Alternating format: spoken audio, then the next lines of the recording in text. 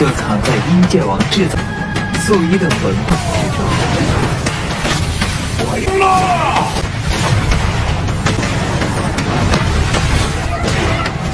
嘿嘿。 Halo assalamualaikum teman-teman Jumpa lagi dengan saya Ilham Baris Selamat datang di channel Purnomo The Series Gimana kabar kalian? Semoga selalu sehat dan baik-baik saja ya Kali ini kita akan meneruskan merangkum Donghua Sising Ji Season 5 episode 21 ya guys. Gimana?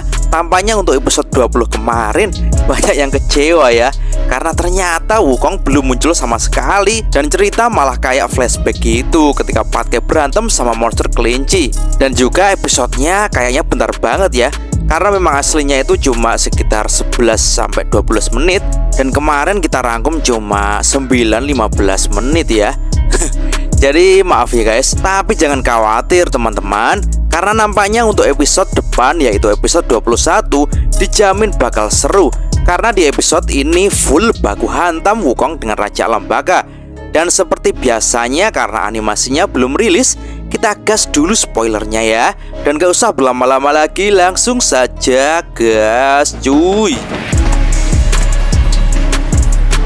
Pat kayak yang terseret di dimensi masa lalu karena telah dijebak oleh Mio pun kini berjuang habis-habisan untuk mengalahkan monster kelinci. Dan dengan tekad yang kuat untuk melindungi semua penduduk desa, Patke pun akhirnya mendapatkan kepercayaan kembali. Seketika kekuatannya pun meningkat. Dan Patke pun adu pukul dengan monster kelinci Lingtu yang juga sangat kuat akibat pengaruh kekuatan gelap. Hingga akhirnya Patke pun berhasil mengalahkan Lingtu dan kembali ke dunia nyata.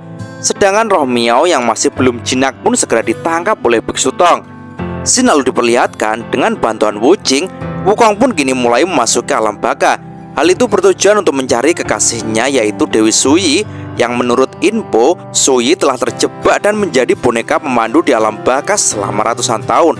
Wukong pun segera berlari dengan sangat kencang karena waktu Wukong di alam baka sangat terbatas.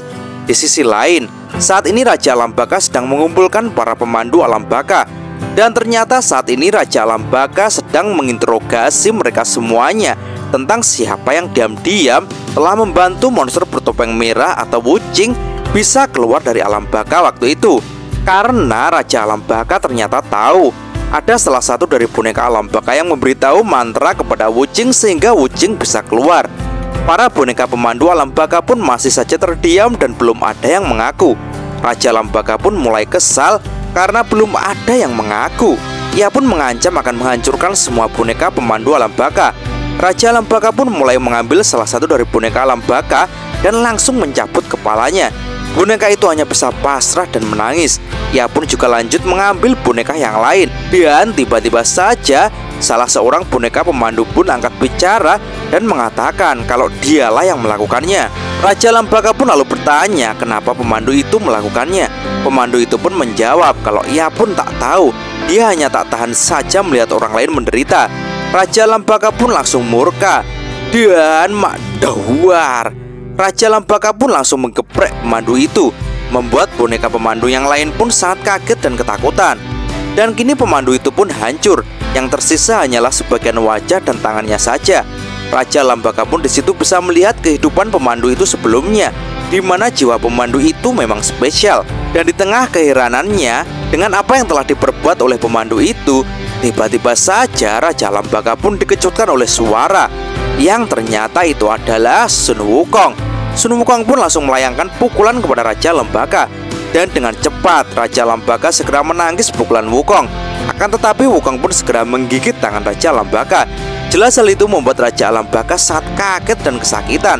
Wukong pun langsung mendorong Raja Lembaka, membuat mereka berdua pun kini berguling-guling di tanah. Dan Wukong pun lanjut melemparkan Raja Lembaka dengan keras.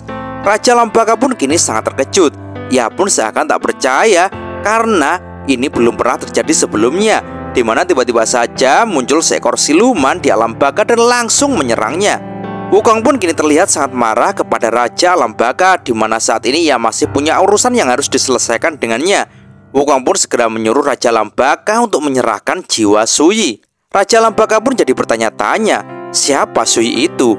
Wukong pun langsung menjelaskan kalau Sui dia adalah jiwa sang Dewi Surga yang sudah ratusan tahun berada di sini. Mendengar hal itu, Raja Alam Baka pun malah tertawa terbahak Ia pun lalu mengatakan kalau pastinya dia sudah bosan dengan jiwa yang sudah lama dan dia pun sudah tak ingat lagi ia buang ke mana jiwa tua itu. Jelas perkataan itu membuat Wukong sangat geram. Ia pun langsung berlari untuk menyerang Raja Alam Baka sambil mengatakan kalau ia akan menghancurkan alam baka ini. Raja Alam Baka pun juga geram dengan kesombongan Wukong. Ia pun langsung mengeluarkan kekuatannya berupa asap hitam yang berputar-putar. Kekuatan itu sangat kuat, membuat Wukong pun terkejut. Wukong pun merasa kalau ini adalah badai asap hitam yang diceritakan oleh Wuching, di mana asap hitam ini langsung mencemari api jiwa Wukong. Wukong pun tak mau menyerah. Wukong pun sangat geram dengan Raja Lembaka yang suka mempermainkan hidup orang lain dan menyiksa orang lain tanpa alasan. Wukong yang ngamuk pun langsung melompat dan menghindari pusaran-pusaran asap hitam yang dilancarkan Raja Lambaka. Dan dengan penuh semangat dan gairah, Wukong pun melompat dan muncul dari atas dan dan setelah mereka berdua bergulung-gulung, Wukong pun segera memukuli Raja Lambaka tanpa ampun. Akan tetapi, melihat Raja Lambaka kini dipukuli seperti itu, para boneka pemandu pun berbondong-bondong menghampiri Raja Lambaka. Mereka pun bersama-sama mengerubungi Wukong. Jelas hal itu membuat Wukong sangat risih. Wukong pun mau tak mau mencoba menyingkirkan boneka pemandu itu dari tubuhnya. Tapi ia pun kini sangat kaget karena tiba-tiba saja boneka pemandu itu pun mulai musnah satu persatu. Hal itu sangat mengagetkan Wukong dan ternyata itu adalah ulah dari Raja Alam Baka yang membakar gulungan papan nama jiwa-jiwa itu. Wukong pun kini jadi sangat panik. Ia tak menyangka Raja Alam Baka sangat jahat dan tega menghabisi jiwa-jiwa boneka pemandu alam baka.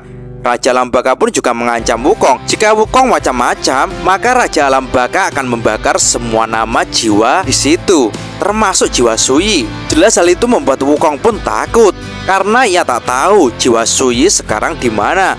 Wukong pun kini menjadi tak berkutik dan kebingungan, apalagi yang harus dilakukannya. Waduh, kira-kira gimana lagi ya ceritanya? Terus terang nih, Mimin juga kurang tahu nih. Soalnya untuk scene pertarungan Wukong dengan Raja Lambaka ini tampaknya sangat berbeda dengan manhuanya guys. Dan tampaknya untuk animasinya lebih seru dan menegangkan guys. Porsi baku hantamnya juga lebih banyak dari manhuanya loh. Jadi kita stop sampai sini dulu aja ya. Gimana? Jadi penasaran kan? Sama, aku juga penasaran kok. Jadi kita semua jadi sama-sama penasaran. Ya udah kita tunggu aja animasinya rilis minggu depan ya. Oke teman-teman, terima kasih ya sudah nyimak alur cerita kali ini sampai habis. Semoga teman-teman terhibur. Jangan lupa terus dukung channel ini agar terus berkembang ya dan sampai jumpa di episode selanjutnya.